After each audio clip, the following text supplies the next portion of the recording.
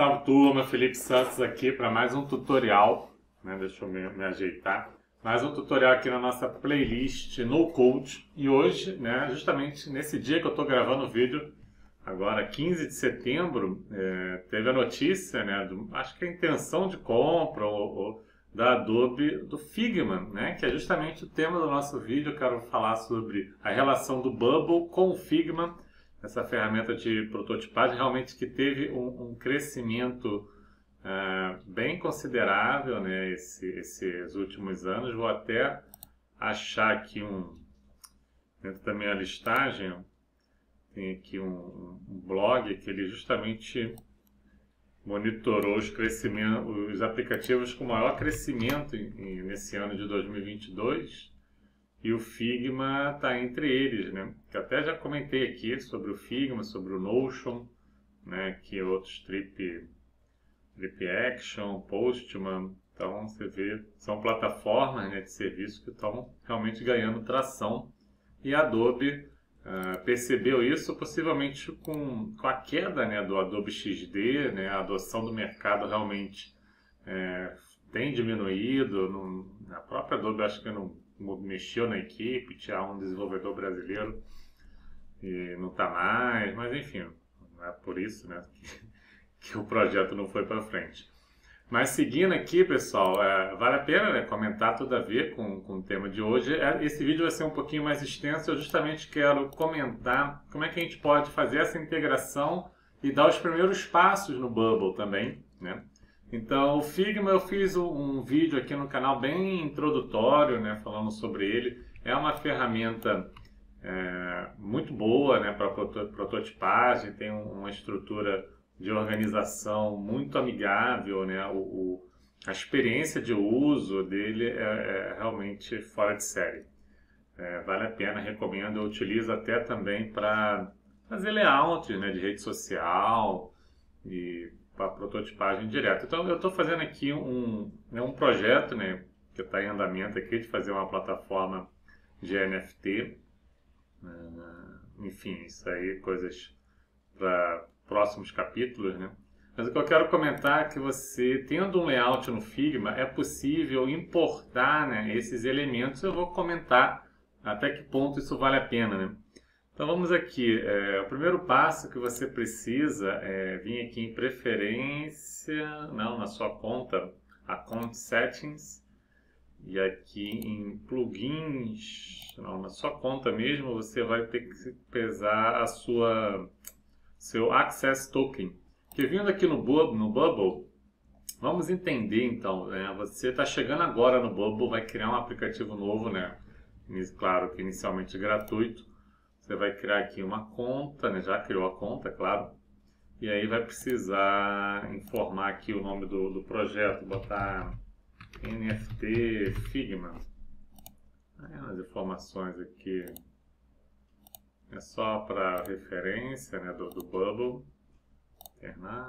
E aqui ele vai permitir você criar o app. Uma vez criado, né, você vai ter acesso aqui à interface né, do, do Bubble, realmente é uma plataforma de desenvolvimento né, para você poder criar não só a parte de interface, né, o front-end, mas também o, o back-end né, de plataforma, serviço. Né. Tem um vídeo aqui que eu comparo, né, comparo não, mas eu comento o Bubble com o Webflow, né, que são ferramentas distintas e aqui você tem né, toda a parte, né, como toda ferramenta, né, os módulos né, de, de, de, os elementos de layout, os containers, input, elemento reutilizável e as seções né, do Bubble, né, a parte toda de, de, de design aqui, de layout, né, você vai trabalhar sempre com esse, essa barra de propriedades aqui e agora a gente já começa né, com uma responsividade nova. O Bubble, graças a Deus, integrou o Flexbox no nível ainda né, é, inicial, mas não se compara ao que tinha antes. É muito mais fluido de se trabalhar. Né? Ele vai permitir que você crie containers, né, que são os grupos, como se fosse divs dentro do seu layout. E essa div, esse container pode ser alinhado né, em coluna, em linha ou alinhado ao elemento pai. Então, normalmente a gente inicia o projeto né, em coluna, que são as seções principais, cabeçalho, banner, conteúdo, seções estão é, na vertical. E você define uma largura aqui da tua interface. É muito importante se você quer trabalhar com, com Figma, é que você tem que criar um frame aqui, né, uma página, com essa largura, né? porque senão não vai bater. Então aqui eu já fiz, ó, 1080 por, pela altura que é aqui o conteúdo. E só que isso é só uma referência, né, para você interagir aqui na, na interface do, do, do, teu monitor, né? Se você tem um monitor uh, Full HD, você pode trabalhar com uma largura maior. Só não quero ter scroll aqui, né, na horizontal, porque depois eu posso configurar objetos para ter a largura toda do, da tela, né? Então, feito isso, já é o primeiro passo. É... Vamos aqui comentar, né? Então, toda a parte de, de layout vai ser feita aqui. A workflow, né? toda a inteligência do Bubble, isso é bem legal. Ele permite criar ações né? a partir de um objeto N, de criar usuário, cadastrar elementos no banco de dados. Ele começa com um banco de usuário, né? Que é, já é pensado de criar uma plataforma para você vender e o usuário acessar o conteúdo. Então, se o usuário vai logar, minimamente tem que ter um e-mail, né? vai permitir criar uma senha e tudo mais. Então, já nasce assim todos os, os detalhamentos aqui de privacidade, a, a, a tabela, né, mesmo, você criou a tabela, por exemplo, aqui só tem usuário. Se eu vou criar uma tabela aqui de produto, você cria uma tabela produto e dentro da tabela produto você vai criando campos, né? Nome, aí tem, é realmente banco de dados. Você tem que pensar bem né, nessa modelagem do banco. Né? Nesse momento eu estou fazendo um e-commerce e estou justamente nesse momento do, da modelagem, né? que é pensar as tabelas, como as tabelas vão se relacionar para o conteúdo fluir. Né? Então aqui vai ser tipo texto, né? Uma dúvida, né? Que quando eu comecei também, quando você pensa, se for assim, é, é, número pedido. Isso é uma dúvida muito comum, né? De quem está começando. Ah, só porque é número, não necessariamente ele tem que ser um campo number. Né? Isso aqui, pessoal, a gente só usa o campo number se for fazer conta. Né? Se você vai somar, se vai dividir. o preço do produto, aí é legal ter como número, porque você de repente vai querer somar um carrinho de compra, vai querer somar o valor da quantidade de produtos que você tem em estoque. Mas se não for soma, se não tiver alteração matemática, mesmo sendo número, o campo é texto. Né? Isso é, é, é bem importante, né? porque se for colocado um zero, isso até aconteceu um caso real né, de terem cadastrado CPF como número e quando começa com zero, né, à esquerda ali, ele desconsiderou e deu um erro né, no sistema. Mas seguindo aqui, temos toda a parte de estilização, muito importante para otimizar né, a parte de layout, que você pode criar um estilo com base no que você já fez aqui no Figma, né? É legal, você já pode criar o estilo no Figma também. E agora tem uma, uma função nova né, de eh, variáveis de estilo aqui, é bem interessante, isso é mais recente, eu não, não tinha visto. Plugins, muitos plugins.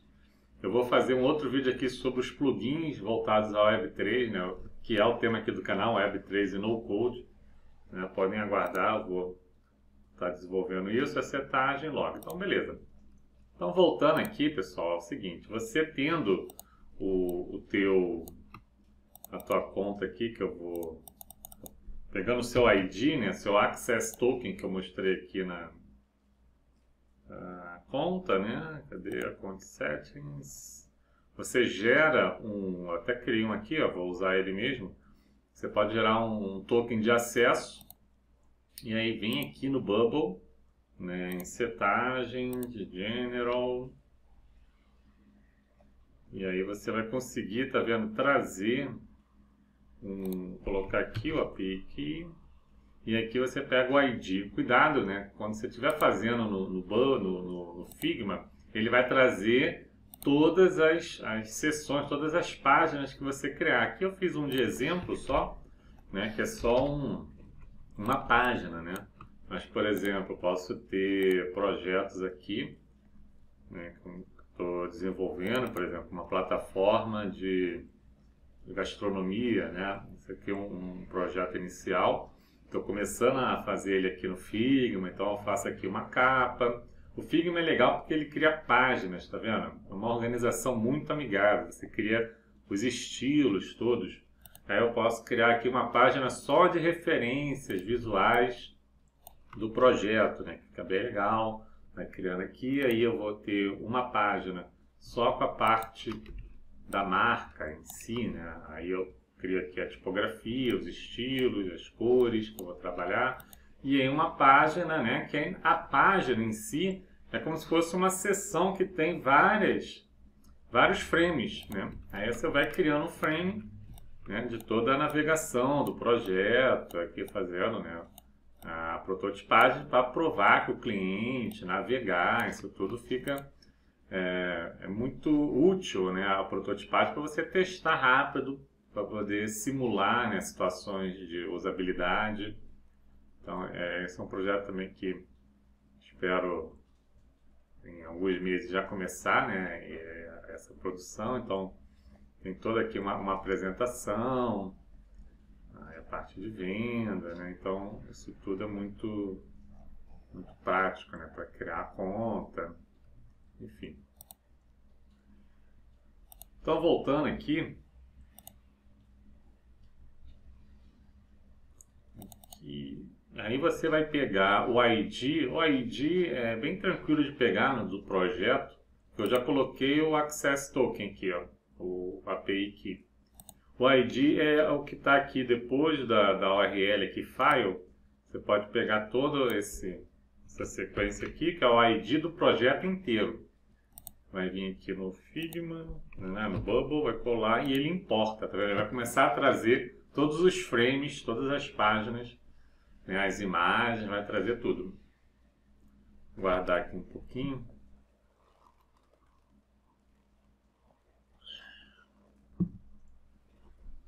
Isso é uma maneira, assim, que eu tenho algumas ressalvas, né? Porque ele traz ainda no modo... Como eu mudei ali o, a responsividade, eu acho que ele já vai... Não, ele, ele traz no modo fixo, tá vendo? Fica um pouco confuso, né? E... O ajuste aqui. Ele montou certinho, tá vendo? Mas está no modo fixo. A questão agora, pessoal, eu vou montar, vou mostrar agora o nosso foco aqui, né, é comentar isso, mas eu vou montar essa base aqui inicial, né, com a responsividade nova. A responsividade nova, né, a gente vai ter aqui os elementos todos soltos, tá vendo? Tem muito mais elementos, mas eu vou focar só nesses aqui de cima. E ele traz assim as caixinhas assim separadas, né? Tá vendo? É, é uma maneira de começar, né? Ter uma referência. Mas se eu, se eu chegar e mudar esse, esse layout aqui, que agora está fixo, para responsividade nova, isso aqui vai se perder tudo, né? Porque se eu botar aqui em coluna, tudo vai cair, vai ficar um embaixo do outro. Porque dessa maneira, né, ele está na responsividade antiga que você movia pelo layout ainda, assim, né? Uma coisa é, mais manual. O, importante da gente entender né, nessa nova responsividade é que você tem sessões, né? Então, por exemplo, aqui eu vou ter essa seção do, do cabeçalho, né? Vou tirar aqui esse...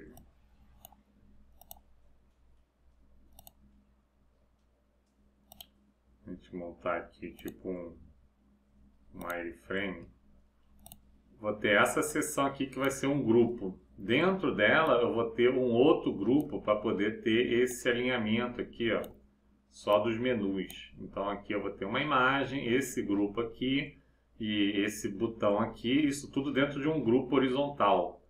Aí aqui eu vou ter um outro grupo para poder pegar todo isso aqui. E esse grupo aqui como linha, né? Como, como linha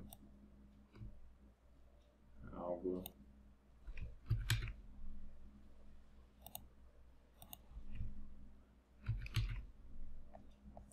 Está colando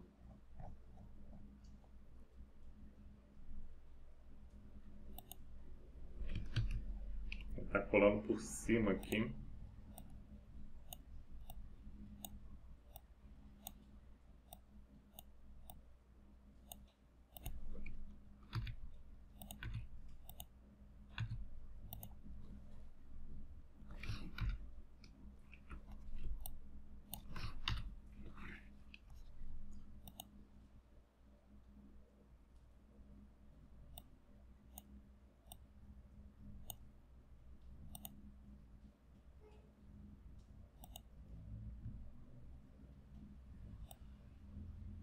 Quero comentar, então você vai ter esse grupo aqui interno, né, em linha, nesse, dentro desse grupo maior. E aqui a gente vai ter um outro grupo, só que em coluna, né, trabalhando todo esse, esse elemento aqui. Aqui possivelmente vai, vai ser um outro grupo isso tudo aqui vai ter que estar dentro de um outro grupo maior, então você tem que ter esse, esse entendimento, né, que é um grupo maior, que vai estar em linha, né, que vai ser esse alinhamento aqui com esse, e aqui um grupo menor, aqui dentro, assim, ó, que vai alinhar esses dois botões internamente. Então, é, é essa visão que a gente precisa ter na hora de estruturar o conteúdo, né? Você precisa estar sempre agrupando os elementos para controlar a distribuição deles em grupos. Então, no Bubble, né, o elemento, os elementos aqui de container vão ser bem utilizados, né? principalmente o grupo mesmo, onde você vai posicionando essas informações. Ou você pode simplesmente é, tirar esse elemento aqui. Eu vou selecionando aqui e e vou agrupar. Então, por, por enquanto, ele está fixo, né? Então, eu vou criar um grupo aqui e aí entra a questão da, da nomenclatura, né? Que é muito importante. Então, eu vou dar uma, uma pausa, né? Deixa eu só fazer, tirar esse... Muito elemento solto que vem, na verdade aqui a gente consegue fazer né, o elemento do botão, ou com, só com um, uma caixa com texto, não preciso ter dois elementos separados. Né? Então aqui eu tenho já essa imagem, que já é um grupo que veio de lá. Vai ter esse grupo aqui, que aí é fundamental você renomear, tá vendo? botão, é, menu na verdade, aqui vai ser, eu boto assim, ó, botão, aqui no caso é o wallet, sempre sem espaço, né? Sem espaço, sem acento, e aqui um logo. E aí eu vou, vou aqui alinhar e vou agrupar ainda como fixo, né? Aí eu vou agrupar esses três elementos que eles vão ter, sei lá, vou botar aqui head. E assim vai. Eu vou dar uma pausa aqui para o vídeo não ficar muito longo e eu vou criar todos esses grupos e já volto. Muito bem, pessoal, voltei aqui, ó. Repare que já ficou mais organizado, né? Eu, eu deletei né, as outras coisas, vamos focar só aqui. Então aqui você vai ter ó, o head, a, o módulo principal aqui do cabeçalho, dentro dele o logo, o botão do, do wallet e, e os itens de menu aqui agrupados. Aí eu vou ter aqui um container, eu gosto de chamar de container, wrapper, coisas de programação, né? Um container que vai ser o bloco central. Aí, normalmente eu, eu, defino uma largura máxima de 1280 né, para ele ficar centralizado na página. E os elementos de fundo, né, os objetos, eles vão ter uma largura infinita, né, veremos aqui. Aí eu tenho aqui essa imagem astro, aqui o conteúdo, e dentro do, do G conteúdo tem todo o texto e dentro dele o G botão que vai ter os dois botões. Então aqui sim eu já estou né, estruturado para ir para a nova responsividade que vai ficar mais fácil de trabalhar. Então aqui eu vou mudar agora a página, né, eu estou sem nada selecionado, você configura aqui a página. Ele mudou aqui para, na verdade é 1080 né, que eu quero trabalhar. né, 1008 para ficar mais fácil aqui no, na minha interface. E aqui a altura eu vou mudar para coluna, né? Aí ele vai, ó, vai em, em placô, né, como tem menos. E aí eu vou agora em cada um deles e eu vou mudando também. Então esse aqui vai ficar em linha, né? Ele já deu. Mas esse aqui está em coluna, beleza? Aqui pelo topo. E esse aqui, né, agora a gente vai configurando. Eu quero que ele fique centralizado, né, esse aqui da o head, e ele vai ter, né, não uma largura fixa. Eu quero que ele vá até 320 pixels, é o mínimo, que é a menor largura hoje, né, compatível com o celular ainda do iPhone 5. E esse aqui eu vou botar até 1200, que é esse bloco aqui ele vai ficar centralizado. Esse bloco ele vai ficar no centro, né? Eu não vou permitir ele expandir para a tela inteira. Aí esse cara aqui eu vou deixar. Esse aqui pode ficar como coluna, né? Deixa ele assim. Esse grupinho do meio aqui ele vai ficar como linha, né? Como linha. Aí eu vou deixar, que é o menu, vou deixar ele expandir só que aí você tem que ir em cada um, né? Porque ele deixa tudo como, como fixo, até o texto aqui também, ó. Aí quando é texto assim, eu deixo ele na largura, né? Eu deixo ele no próprio conteúdo, né? Sem, sem definir um, um tamanho. Uh, uma questão do, do, do, do Bubble é que, que eu não preciso ter, é sempre marcando aqui a largura é, que eu poderia ter classes né, para poder facilitar essa, essa configuração é muito repetitiva. Né? Mas enfim, acompanhando aqui ó, com vocês ao vivo, ó, e assim, assim é feito o, layout. Esse aqui também. Né? Então, se, por exemplo, esse aqui que ele vai ser um botão, né?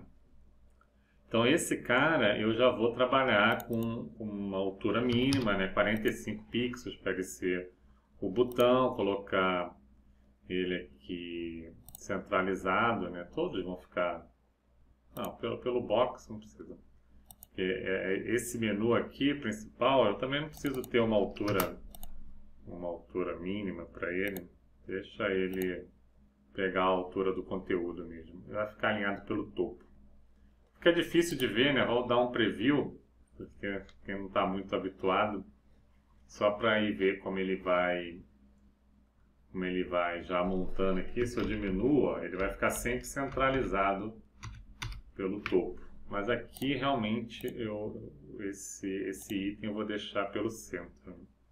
Então aqui ele tem uma altura mínima, que eu não, preciso dela, vou deixar ele pela altura do menu mesmo, e aqui a gente coloca ele centralizado. Esse aqui eu vou colocar também ó, centralizado, então aqui eu já estou mexendo dentro do objeto. Né? E repare que ele vai sempre atualizar na página, e como ele está alinhado pelo topo, né? aqui ó, a, a largura ficou, ficou estreita, né? porque esse carinha aqui na verdade, eu vou deixar ele com sem o mínimo. E aí a gente pode colocar, tá vendo? Nesse menu, um espaço entre os elementos. Eu gosto muito disso aqui. Posso colocar um espaço de 8 pixels, até mais, ó, 16 pixels. E no, no head, na verdade, eu preciso colocar ele afastado, assim, né?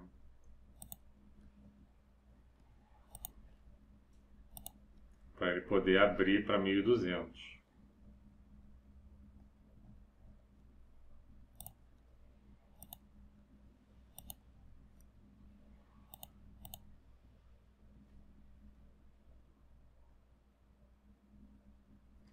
Aí aqui também vou dar um espaço entre esses elementos.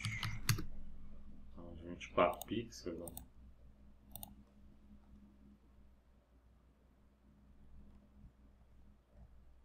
aí você pode também dar um espaço, né, ter todo esse controle aqui de margem, né? E aqui 24 do topo.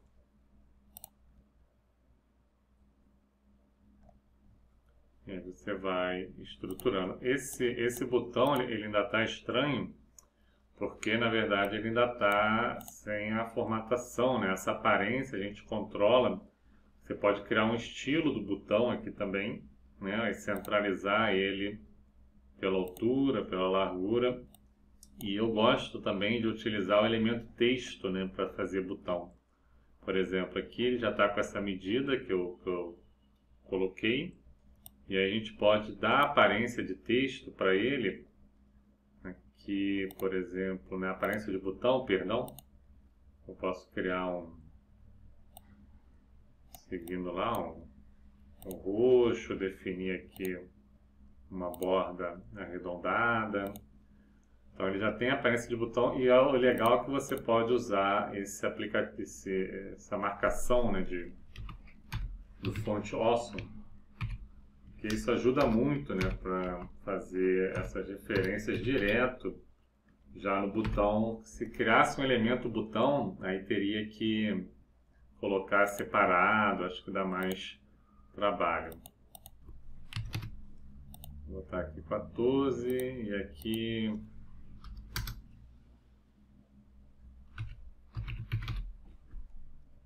Só um exemplo, pessoal. Esse aqui você pega, né, fonte awesome. E um detalhe aí é que você precisa você precisa trabalhar aqui com a versão 4.7, né?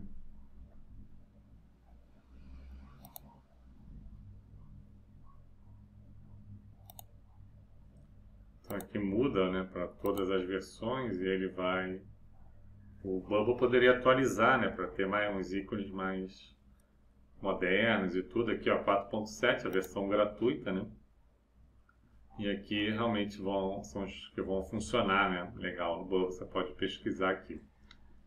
Beleza, pessoal? Então eu não vou, eu vou dividir, né? Eu vou parar aqui essa gravação, né? Eu só vou pegar esse elemento aqui e colocar ele esse elemento aqui, vou colocar ele em linha, né? E botar ele aqui centralizado também, tirar essa, tirar essa, essa largura mínima, vou botar também 320 e aqui 1200 para ele ficar alinhado né, com o conteúdo, eu tiro essa questão tudo de altura mínima, eu deixo zerado e alinhado aqui pelo conteúdo e aqui no topo eu vou botar lá, dar um espaço maior, 48. E eu vou fechar essa primeira parte assim, a gente já começa, você vê como é mais fluido, né? Obviamente que ainda vou fazer alguns ajustes aqui, mas fica mais fluido você trabalhar e ele já, já vai ser mais responsivo aqui, né? Depende de fazer a parte do mobile e tal, mas já é um, um bom começo, né? Então, fiquem, acompanhem na parte 2 a sequência para a gente refinar essa página aqui.